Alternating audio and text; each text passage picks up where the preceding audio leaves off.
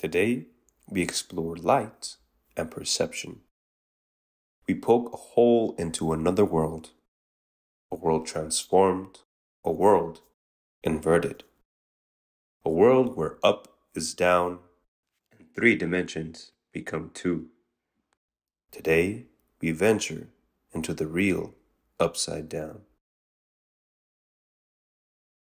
Now, I made a camera obscura that covers up a whole room. You can make a portable camera obscura with the supplies you see here.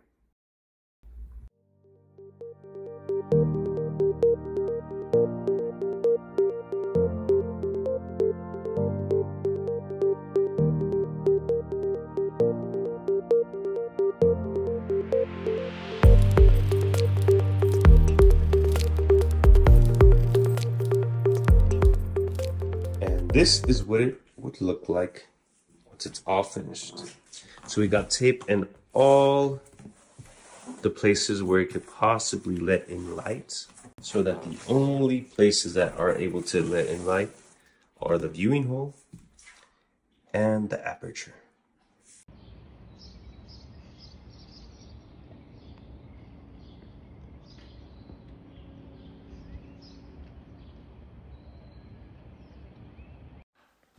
So what exactly is happening here? To get a little more insight into this, we're going to use a ray diagram. A ray diagram is used often in optics to track where light ends up after going through a lens or some sort of aperture. On this left hand side, we have our object, our outside 3D world. On the right side, we have our projected image, image we see inside of the darkroom. Now let's explore the light that we see that comes from the top of this pine tree. Now, typically, light that is reflected off an object is reflected in all directions, which is why you would be able to see this pine tree anywhere in the 3D outside world as long as you had a clear sight line to the top of the pine tree. But what's special about this situation is that we are only seeing the light that passes through the aperture when we're inside the darkroom, meaning that we're not seeing any of these rays that are radiating in all direction.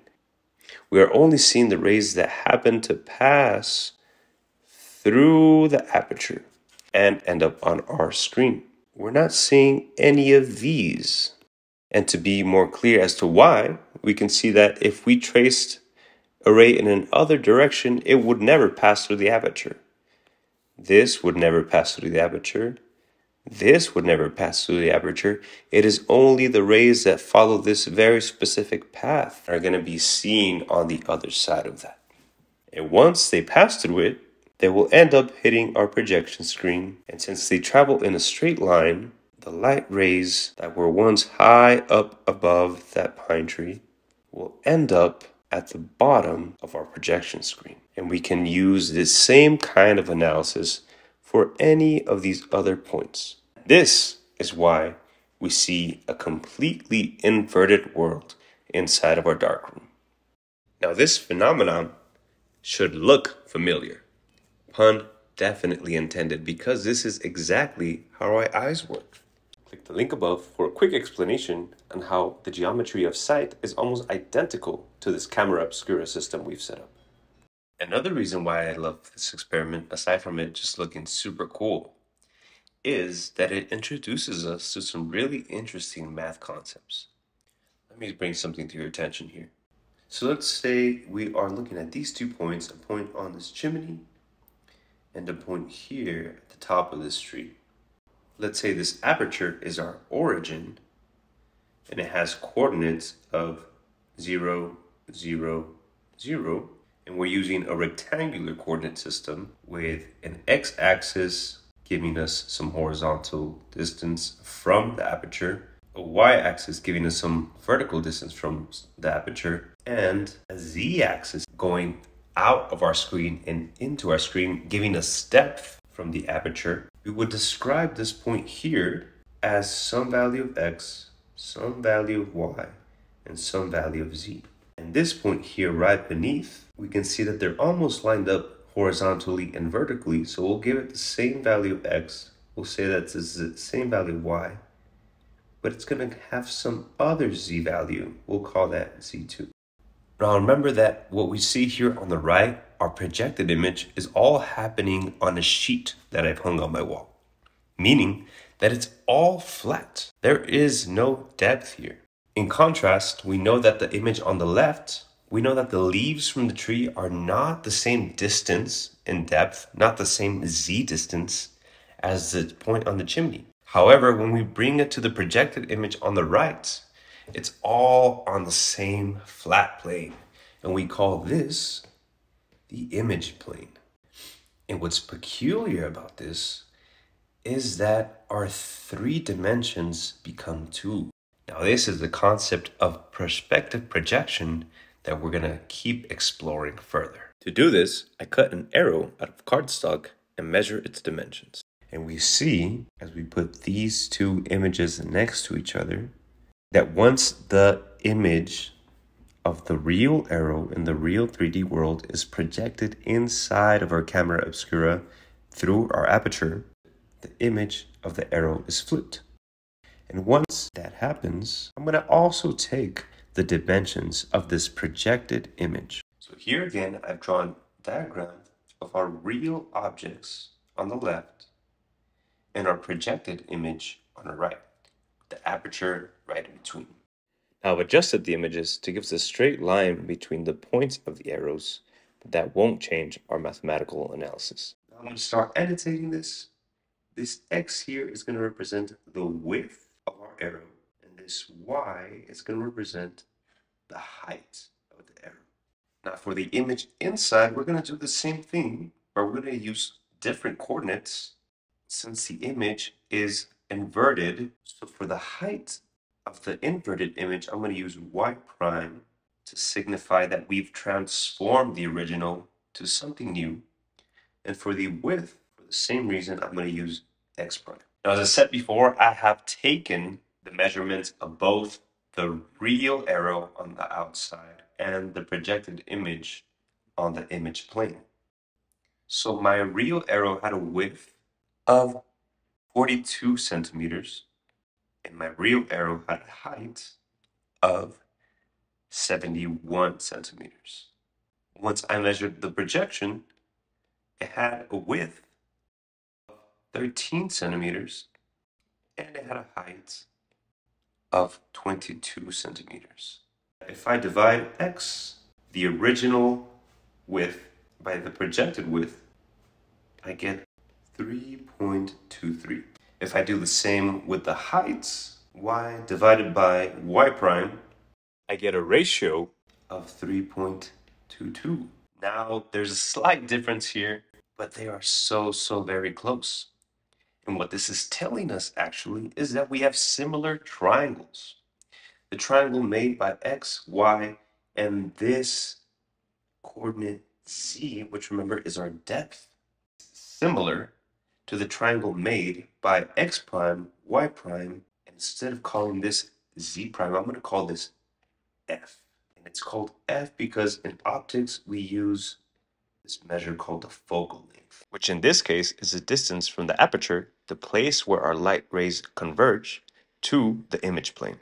And now it gets really interesting. Given that we have similar triangles on the outside in our 3D world and on the inside of our camera obscura, we can start setting up some proportions that are going to help us understand the system a little bit better given what I've just shown you, we know that x divided by x prime is equal to y divided by y prime. And given the properties of similar triangles, we know for a fact that this must also be true. z divided by f must be equal to x divided by x prime. Using the second of these relationships, I'm going to go ahead and solve for our x prime in terms of everything else in that equation. My equation becomes x prime equal to f x over z. And similarly, we can do the same procedure with y and y prime to find y prime in terms of everything else in the equation. And to make it a little more obvious, I'm going to write x prime equal to f divided by z times x. And I'm going to write y prime as y prime equal to f divided by z times y. And what this is telling us by setting up our equation this way is that if we change the focal distance or if we change the z, we can change the size of that projected image. x prime and our y prime are being scaled by this proportion of f divided by z. If we change f by increasing it, that would increase the size of our projected image. Similarly, if we decrease the size of our focal length, if we bring the screen closer and closer to the aperture, that would have an effect of decreasing the dimensions of our projected image. Now let's explore what happens if we change z, the distance of the real image to the aperture. By increasing this denominator, all of this will become a smaller number. Similarly, all of this will become a smaller number, which would mean our projected image would also shrink. Now let's explore what would happen if we keep that focal length constant. I'm to again rewrite that equation in a slightly different way. I'm to call x prime equal to f times x over z. And I'm to say that y prime is now equal to f times y over z. What I'm trying to show you here is that if we keep f constant, we can still manipulate the value of x prime and y prime by either changing the physical dimensions of the arrow, the size, or the depth coordinate z. That means that different sizes, x, y, of an arrow, and different distances from the aperture of that arrow can give us the same projected image. Now, what this is telling us mathematically is that this transformation that we have, this perspective projection, is taking a three dimensional world that lives in the domain we call R3, meaning that there are three dimensions, to a world where there are two dimensions, a flat world that lives on this image plane. And the fact that we can get different arrows to give us the same image tells us that this transformation that's happening here has no unique inverse. Now, what does that mean? In mathematics, when we talk about an inverse of a transformation, it tells us can we or can't we go in the opposite direction of that transformation? And in this case, it's asking us if we see a projected image of an arrow, can we know the precise physical dimensions of that arrow? And can we know the precise z distance of the arrow to the aperture? Meaning, if we have that 2D image, can we recover all three of the dimensions of the original object in the real 3D world? And the answer, of course, is no. Only knowing that projected arrow inside our screen, we cannot know what size arrow and what distance that arrow was from the screen. So this transformation has no unique inverse because that information is lost, and many different configurations of arrow sizes and distance z can give us the same image. Though this is true to connect it back to our own perception of this world, do a pretty good job at approximating, and we don't have to go through this complex analysis to know if something is closer or farther away. This is just another example of how we are doing math every single day without even thinking about it. In the next video of this series, we explore the dual nature of light. What will happen as the aperture of our camera gets smaller and smaller and smaller? What will we see on the other side when light passes through the thinnest of slivers? Like, subscribe, and watch the video linked above to find out.